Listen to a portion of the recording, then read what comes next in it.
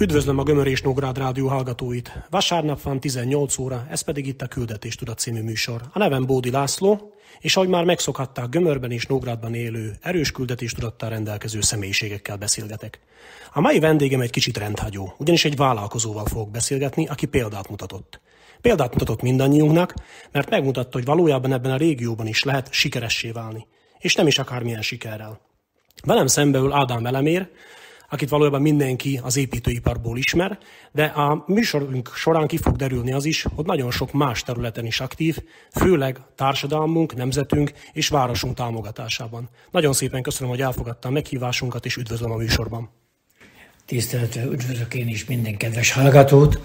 Hát, ahogy mondta a kivadam eleménekinek szeretném elmondani az élet, életem sorát, hogy kezdődött az egész. Hát én egy Gömöri Péterfali, egy kis faluból származok, ahol egy paraszt családból jöttem a világra is.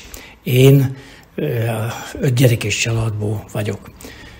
És elkezdtem az iskolát Péterfalon, majd befejeztem a lapiskolát Gészetébe. Ezután elkerültem a középiskolába, lassan az építészetiskolába, örök életemben építész szerettem volna lenni. Ebben adtam fantazat is, tudtam, hogy ez engem érdekel. Sikeresen elvégeztem az iskolát, és elkezdtem az építkezés, a magas építő vállalatnak dolgozni 1967-ben. Közben berukkoltam, még ott is volt szerencsém, mert tettek ilyen különbözeti vizsgákat, és kiválasztottak a katonaságon, mint építésvezetőnek a különböző vizsgák eredménye alapján. Két évig ott is építkezésen dolgoztam, sikeresen, majd hazajöttem katonaságra, folytattam én a szombatba. Küldtek volna engem természetesen irodába dolgozni, de engem az irodai munkák nem érdekeltek. Hát inkább ragaszkodtam ki a természetbe, vagyis egyenes az építkezés vezetésére. Elkezdtem az építkezést, sajnos már azokat az épületeket elkezdtem már, amikor építeni, már vannak olyan épületek, amit le is bontottak. Ez azt jelenti, hogy nem vagyok fiatal. Mikor is született pontosan? 1947. március 30-án születtem Péterfalon. És elárulom a hallgatónak, hogy egy nagyon jó erőben ülő fiatal emberül szembe velem. Egy rövid kérdés még lenne, az építőiparról beszélt, hogy már gyerekkorában eldöntötte. A családon belül látta ezt a példát, valakitől, akár nagybácsitól, vagy a, nagyszü- vagy a szülőktől, vagy a nagyszülőktől. Miért pont az építőipar fogta meg gyerekkorában? Édesapa, amivel mondtam, nagy családos családapa volt, hát családi hazat épített, iker, ikerházat. És oda jöttek a köművesek dolgozni, és nekem tetszett, hogy egyik napról másra fejlődött, épült, szépült, nagyobb adott az épület. És ez engem úgy megfogott, és ezáltal én így ragaszkodtam ahhoz, hogy építészé valljak. És ahogy látom, a szülők támogatták is benne, mert hát valójában el is került az iskolába.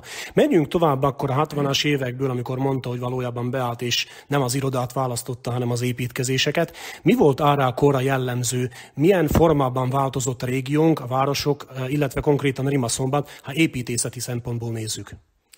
Hát azt kell mondanom, hogy engem bedobtak a mély vízbe, és ahogy mondtam, mindjárt egyre fogva elég komoly munkakat kaptam. Sőt, nem büszkékedek vele, de el kell azt is mondanom, hogy a félvarost én bontottam le, mert akkor ez volt a trend, ezt adta a parancsba, ezeket kell csinálni. De természetesen lebontottam, de fel is építettem, mert ami a városban látunk, új lakásokat ezt mind én építettem, építettem fel, mint építésvezető, aztán később megválasztottak ilyen fő lakóépület vezetővé, vagy nem is tudom magyarul, hogy hogy mondja. És akkor, ha innen befejeztük Rimaszombatba az építkezést, kikerültünk a nyugati lakótelep felépítésére. Onnan az első épület, az utolsó épületig mindén építettem, én vezettem be az építkezést. Az utolsó lakótömb befejezés előtt két hónappal mentem el a magas építő valattól, 26 év után, én nem változtattam másik munkahelyet, massziktak, vagyis vállalkozó. Hát 960 munkatársaim voltak a pozén, néztem magas építővállalatnak, és én voltam az első, aki kivolt, mint egyéni vállalkozó. Akkor elkezdtem rendesen, fizikálisan dolgozni, felvettem magamhoz embereket, dolgoztam, ahogy szaporodott a munka, úgy vettem több munkást fel magamhoz, Mikor már annyi volt a munka, hogy nem győztem dolgozni is, és bebiztosítani az anyagokat, meg minden, akkor felvettem, kialtam a munkából, akkor csak tisztán vezettem. Mikor szaporodott a munka, természetesen az elismerésemet azt elismerték, hogy tudtak róla, hogy milyen építész vagyok. Akkor vettem fel az első építést magam mellé, másodikot, harmadikot. Így fejlődött ki aztán a cégünk. Térjünk vissza még egy kicsit, mivel a hallgatóink között sok fiatal generációs van, magamat is beleértve, akik sokat hallottunk arról, hogy Rimaszombatnak volt egy bizonyos látképe. Egy kisváros jellege volt, kis épületekkel, családi épületekkel, majd jött a 60-as évek, amikor az egész város lerombolta az akkori rendszer, a kommunizmus, és valójában átépítette panel épületekké, megváltozott a mai eh, kétsávos útnak a környéke, ahogy említette, felépült a e, nyugatlakótelep is, tehát teljesen egy új eh, látképet kapott a város. Ön szerint, mint építés szerint el lehetett volna ezt kerülni, terjeszkedhetett volna a város olyan formában is, hogy nem lettek volna rombolva a régi történelmi épületek, és egy új területen jöttek volna létre, illetve a nyugatlakótelepnek van egy története, hogy mocsára épült. Igaz ez, vagy ez legenda? Milyen volt az ottani eh, építkezésnek a feltétele? Hát kezdjem a várossal. Igen, abban igaz, hogy vannak olyan, vagy voltak olyan sok olyan épület, amit nem, nem szabadott volna, nem kellett volna lebontani, mert egész a város jellemét kimutatta, utcákat, minden. Csak akkor ugye a, volt a trend, hogy menni kellett a lakótömbökbe, építésébe. Nagyon sok épületet elbontottunk, hogy a szívem fajt, mikor, mikor ez megtörtént. Sajnos volt egy, nem sajnos, van egy olyan esetünk konkrétan, hogy Rimaszombatban az Almassal szembe az a saroképet, ami van, azt nekem parancsba adtak, hogy bontsam le, mert akkor az utcát építettem ki a, az Almasról, aki az a új utcán ott van. És nem bontottam meg, mert nekem tetszett az az épület, mondom, hogy nézett volna ki, anélkül az egy sarokép, szép sarokép. Még írásbeli megfigyelmeztetés is kaptam azért, mert nem, volt, nem bontottam le, és időben nem tudtak azt lebontani, mert jött az épít átadás. Úgyhogy mai napig is megállt az épület, és gondolom, hogy nem a város karral, hanem a szépére maradt ez az épület. A másik pedig viszont az, hogy a, a lakótelep, nyugati lakótelep nem mocsar, de kertészeti egyenes terület volt, mezőgazdasági, amit a, a termőterületet Katjának pillanatra nagy buldozerokkal turtuk le, és úgy kezdtük építeni, az igaz, hogy majdnem minden lakótelep alatt pilótok, vagyis betoncölöpök, 10-12 méteres betoncölöpöket vertünk le, és erre lapoztuk az épületeket. Igen, és ezzel meg is változott a látképe a városnak, egyrészt meg a lakosságnak a száma is megnövekedett. Térjünk vissza most arra, hogy elindult az a korszak, amikor úgy döntött, hogy egyéni vállalkozóvá válik. Ez, ha jól emzik, a rendszerváltásban történt, tehát a 80-as évek végén, a 90-es évek elején. Ha mi most visszatekintünk erre a korszakra, az azt jelenti, hogy teljesen új piac szabadult fel. Milyen érzésekkel vágtak akkor bele az akkori kezdő egyéni vállalkozók abba, hogy ők saját magukat fogják fenntartani, és valójában előző generáció vezetése nélkül, de valami teljesen újba kezdenek bele. Milyen érzéseik voltak? Hát nem voltam benne biztos, mikor elkezdtem a vállalkozást, mert a lehetetlenbe mentem. Ugye hozzászoktunk a szocialista munkarendszerhez, amit megszabták, előírtak, be kellett tartani, itt pedig a saját szakalomra kellett vállalkoznom, ami nem volt biztos, még az elején. De természetesen a nevem be volt írva szombat, bár ismertek, mindenki látott az építkezéseken, milyen munkákat végeztem el, és bizalommal fordultak hozzám. Úgy jöttek hozzám, mert voltak építések, mások is, vagy cégek, tulajdonosok, és ilyen vállalatok, akik dolgoztak ilyen nagyobb gyáraktal, cukorgyár, sörgyár, húskombinát, malom, ez ilyen nagyobb cégeknél, és ahogy adtak, hogy a munkámmal mi vannak elégedve, elment a híre, és egyik a másik után jelentkezett, és adtak a munkákat nekem, amivel természetesen voltak elégedve. Nekem azt a nagy előre, egy lelki dobást adott nekem, amikor láttam, hogy valóban mindenki be van elégedve a munkámmal, és tudtam fejlődni, idővel aztán annyira felszaporodtak a munkaim, még a népem, a munkausaim is, hogy kénytelen voltam munkatelepet vállalni, vagy kialakítani, és akkor így megvettem az egyik területet, úgy nevezett régi széntelepet.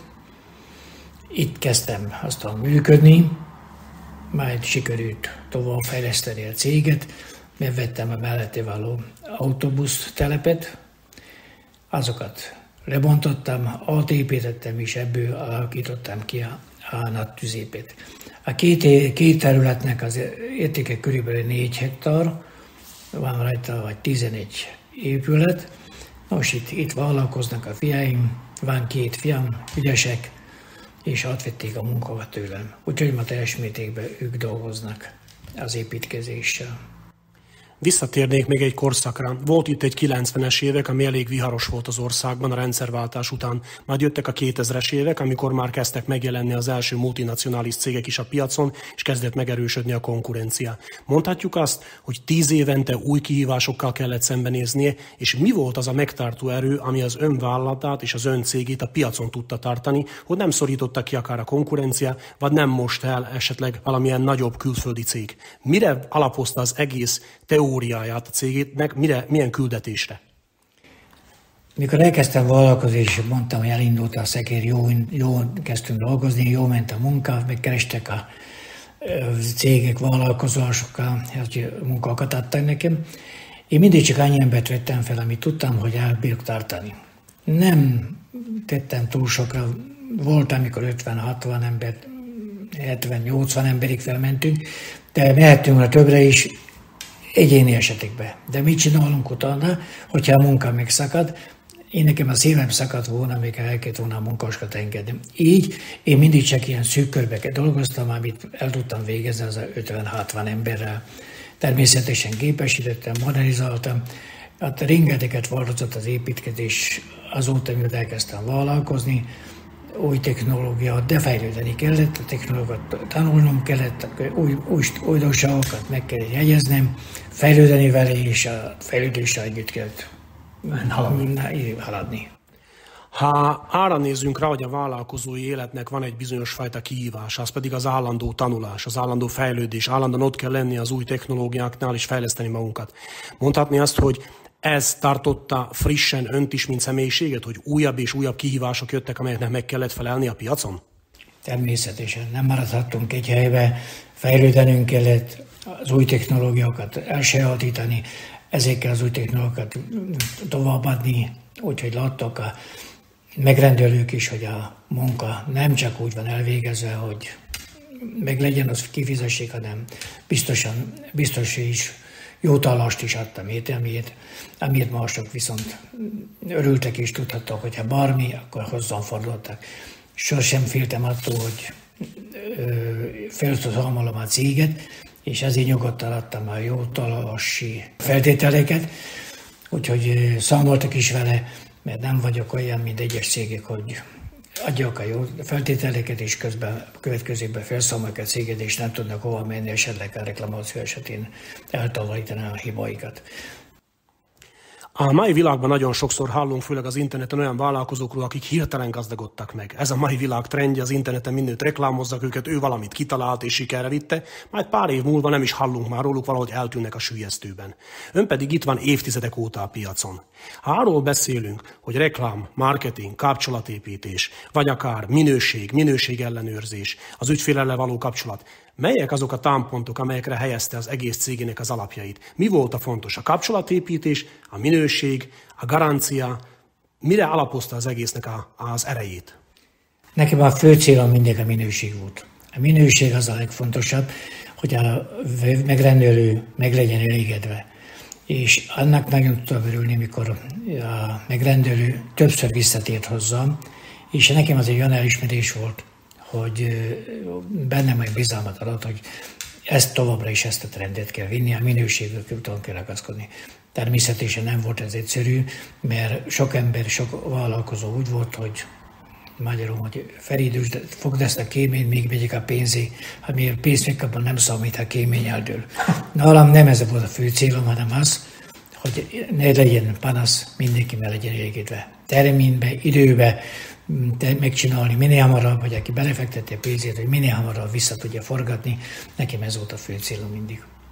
A minőség mellett pedig volt egy másik fő cél, és ez pedig a küldetés tudata, és ezért is szerettem volna meghívni a műsorba, mert a sikerei mellett nagyon sokat tett a közösségünkért is, Rimaszombatért, sportegyesületeket, rendezvényeket támogat mindmáig a vállata. Nagyon sok helyen mindig ott van a vállalatának a logója, hogy ezt is és azt is támogatta. Miért tartotta mindig fontosnak azt, hogy jelen legyen a cége ezeknél a rendezvényeknél, mint támogató, akár ifjúsági csoportoknál, akár sportegyesületeknél? Miért volt az ön számára fontos, hogy segítse a közösséget? A természetesen, még fiatal koromban én is sportoló típusú voltam, szerettem fotbalozni, egy idővel boxoltam is, meg hasonló dolgokat. És én mindig szeretem a sportot. A Rima Szombati futballcsapatot nagyon sok pénzzel, nem mondok összegeket, támogattam hosszú időkön keresztül. Úgyhogy amennyiben tudtam, mindig támogattam, mert láttam, hogy értéke van, nem, hogy tudjak ezt becsülni és tisztelni. Engem nem is annyira a reklámok ki van téve, de a reklámok is nagyon sokat tett természetesen. Most már a fiaim vették át ezt a dolgot, ők vezetik az építkezést, meg a tüzépet is, ők adják a reklámokat nagyobb részt, de mai napig is, judótól kezdve, sport, mindenféle akciók, rendezvényeken keresztül, ők támogatás, hozzájuk fordulnak természetesen, ritka esetben mondanak nemet, mindig támogatnak mindenkit. Igen, nagyon hálásak vagyunk érte mi is a Gömör és Nógrád Rádió, mert többek között önök is a támogatóink, hogy köszönjük szépen. Visszatérnék még egy kicsit más irányba, ez pedig a gyermekkorból a felnőttkor, majd pedig az apai kor, majd pedig a nagyapai kor. Ha egy férfi életét vesszük, hogy különböző fázisokon keresztül megy, és vállalatot épít, akkor a személyiségére ez milyen hatással van? Hogyan lehet a mai világban, illetve hogyan lehet ötvözni mindezt, hogy egyrészt édesapa legyek, nagyapa legyek, de másrészt természetesen odafigyeljek a nagyobb családomra is, mert egy vállalkozónak a családtagjai, az alkalmazottai is, és azoknak a gyermekei, és azoknak a feleségei, és a többi. Ön egy nagy családot épített. Hogyan tudta ezt az egészet koordinálni, fejbe tartani, odafigyelni, mennyi időt és energiát vett ez igénybe? Igen, nem volt ez könnyű, ez a feladat, ha úgy veszük az egészet. Mikor a szocializmusban megyünk a saját maszek szférába, akkor az nem is olyan egyszerű. Mert az olló nyílik. Vagy fejlődünk és, és szaporodunk, vagy ellenkezőleg. Itt minden pillanatot oda kell összpontosítani, hogy ott legyünk a piacon, megfeleljünk mindenkinek, de ez bizony idén, időt idegént igényelt. Igen, mondhatok egy olyan példát, hogy egy kisebb fiam akkoriban volt olyan 5-6 éves. Hazamentünk vasárnap együtt, elfüggöttünk a gaucson, a tévét néztük, az elembe ült, azt mondja, hogy a puci, milyen jó veled, azt mondja, mi nem vagyunk így gyakrabban. Mondom, kisem, együtt vagyunk általában. De hogy apu, mikor te elmégy munkába, én alszok, mikor hazajössz, már én alszok. A kisgyerek, 6 év, 5 éves gyerek ezt felfigyelte. Én aki a pénzúton, meg a család fenntartása miatt adtam, vettem magam idejét, sajnos eszembe se volt ez. Akkor jutott szembe, valóban a gyerének igaza van. Sajnos ez így volt. Felneveltem két gyereket, mind a kettő ügyes építész. Az egyik fiam építésmérnök, vezeti a tüzépet, mondhatom, hogy nagyon jó vezeti, nagyon felfejlesztette, nagyon ügyes.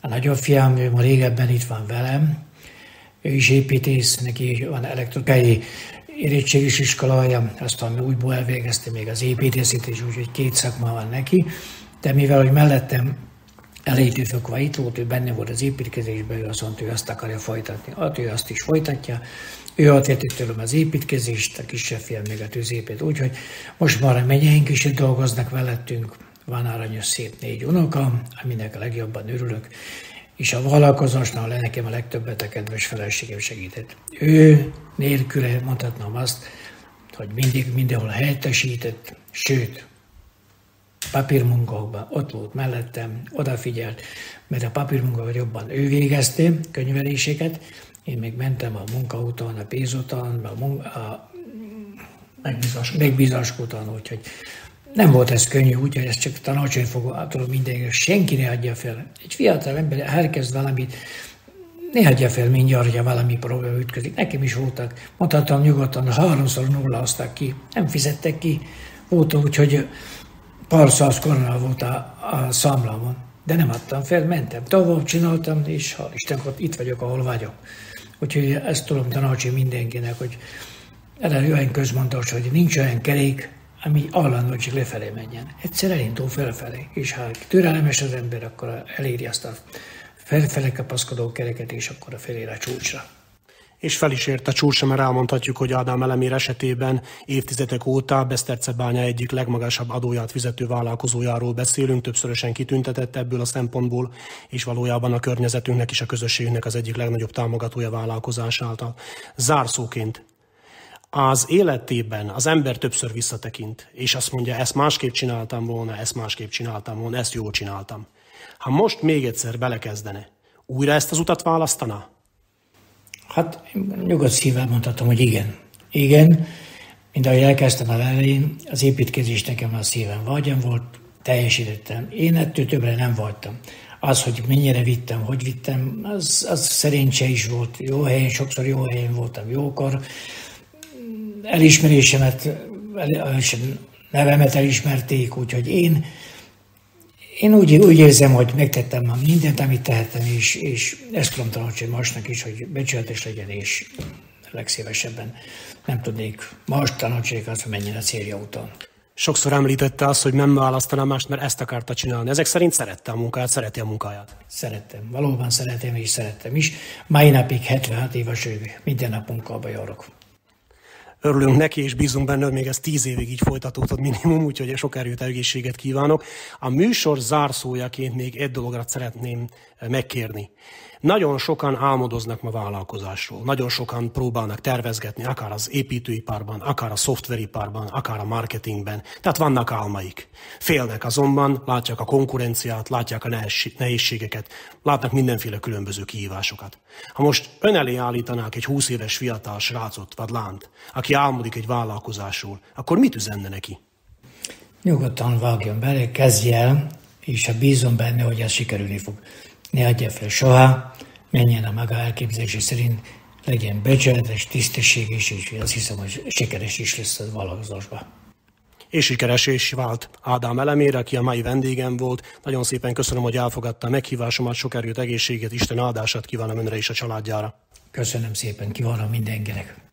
Kedves hallgatóink, ez a küldetés tudat vasárnapi adása volt, a nevem Bódi László, és a mai vendégem Ádám Elemér volt Rimaszombatból, akit mindenki, akinek volt valami köze az építőiparhoz, valójában ismer, de nem csak azok, akik nem, akik a sport, illet, akik a városban is mozognak. Nagyon szépen köszönöm a figyelmüket.